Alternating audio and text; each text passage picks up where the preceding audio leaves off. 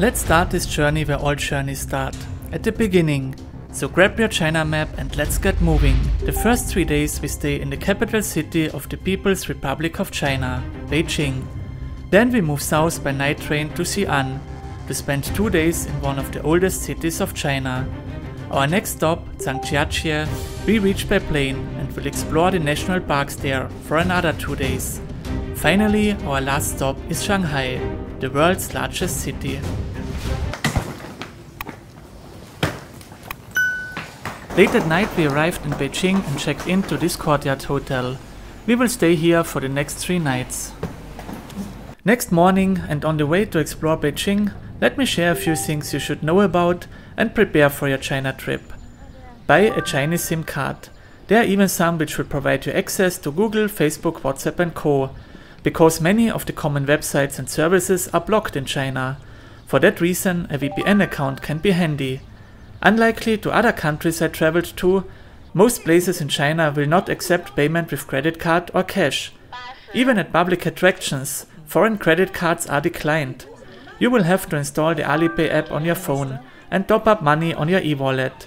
Since 2019 there's an option called Tourpass to top up your e-wallet as a foreigner. And in addition, I recommend to install the following apps on your phone. WeChat, which is a common messenger app used in China, Baidu or Maps.me, which will work well for navigation and also offers offline map download. If you plan to take public transport, which by the way is very well established and reliable, you can buy your ticket at the first day at the subway station. Great, then we are all set and ready for our first stop at the Forbidden City. Completed in 1420 during the early Ming dynasty, it is China's best preserved and the largest imperial palace in the world. I was really impressed by the dimensions of the Forbidden City, the artworks, the traditional gardens, and especially the impression you will get of the imperial living. And here are some more interesting facts about the Forbidden City. The construction took 14 years. It was built by over 1 million workers and it has 980 buildings. It was the imperial palace of China for 492 years and it is surrounded by a 10 meter high wall. It hosts 14 million visitors per year. In the north of the Forbidden City, we entered the Jingshan Park and went up to the hill to get rewarded with a great view over the city. Next, we moved on to the Temple of Heaven, and for me the most striking building was the circular hall of prayer for good harvests. While walking through Beijing, we were able to experience the lifestyle of the locals especially early in the morning when people are gathering to do their exercises. The evenings in Beijing we spent at Hou Hai Bar Street and Wang Wangfujing. In general, we did not have a fixed schedule for the evenings, and also took our dinner at places which caught our attention. Only one dinner we planned in advance, and visited one of the famous restaurants serving Peking duck.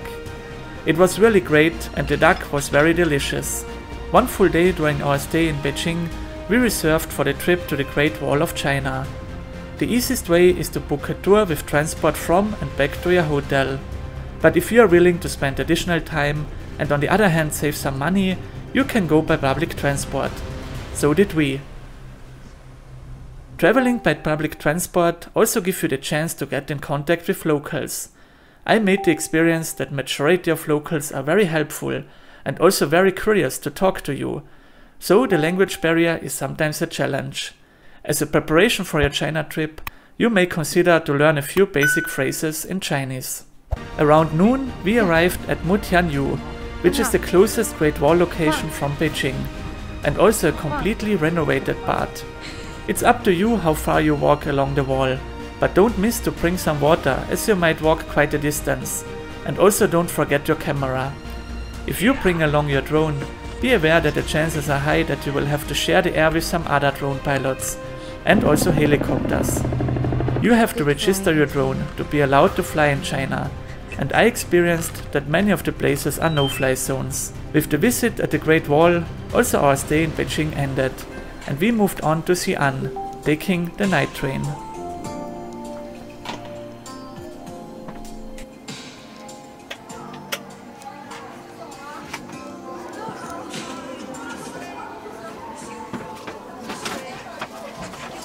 To me, Xi'an represents exactly what I imagined from a Chinese city, and we did not waste any time after arrival to visit the Terracotta Warriors and Horse Museum, which is located around 30 kilometers east of the city.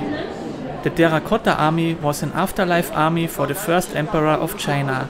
The construction began already 246 before Christ after the Emperor Qin ascended the throne at the age of 13. Over 700,000 laborers took about 40 years to complete the statues. It was discovered by local farmers by digging a well in 1974.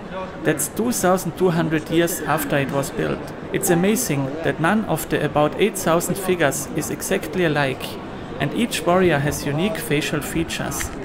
The museum includes Pit 1, Pit 2 and Pit 3, as well as an exhibition hall.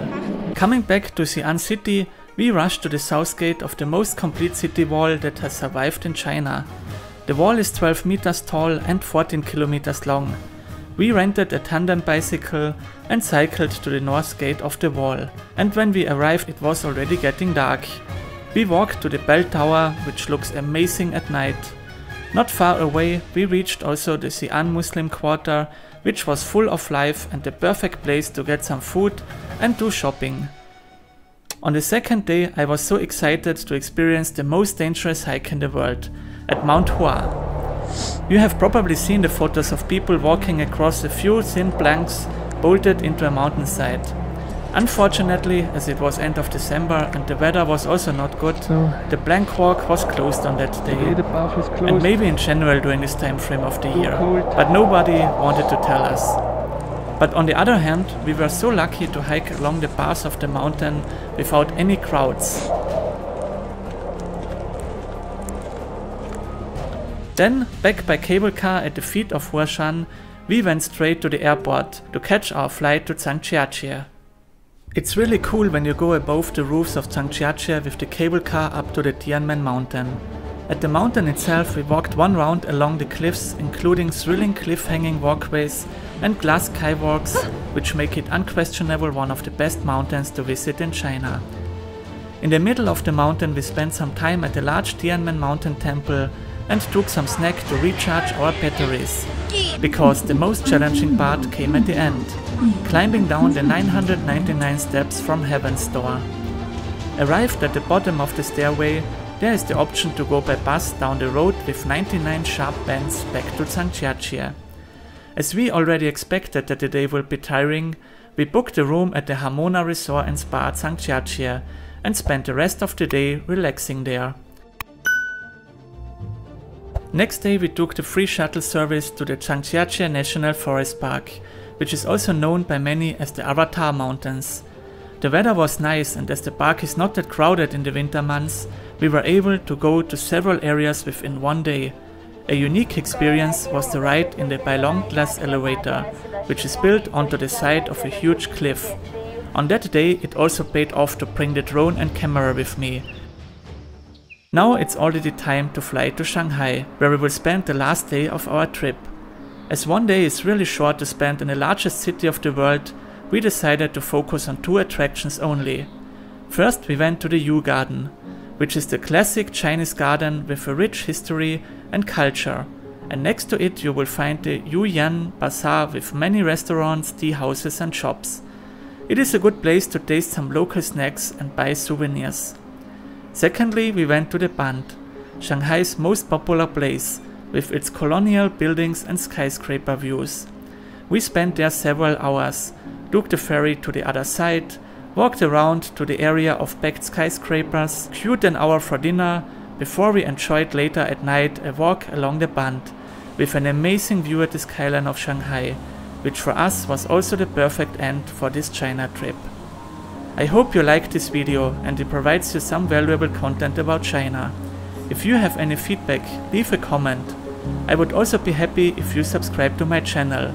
And to all of my already subscribers, I'm very grateful for all your views and comments, which help me to get better in video content creation. Thanks a lot and see you next time.